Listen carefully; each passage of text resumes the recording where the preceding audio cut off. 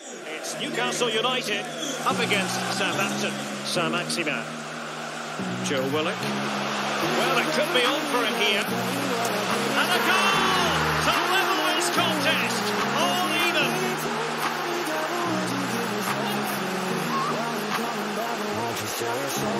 What a great finish.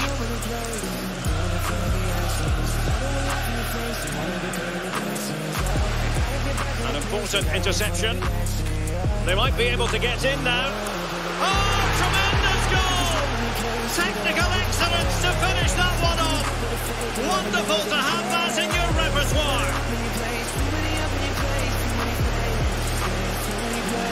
The ball over the top is an absolute beauty, and when he gets onto it, he decides to go for power. It's a really emphatic finish, which gives the keeper no chance.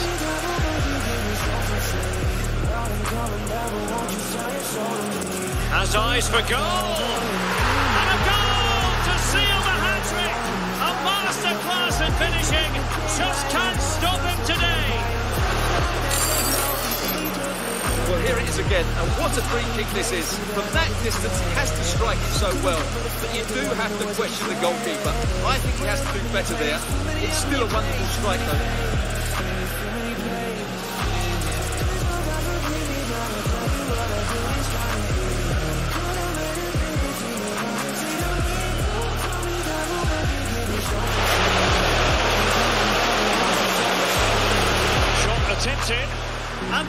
It is. A two-goal cushion now. And they just need to keep the concentration.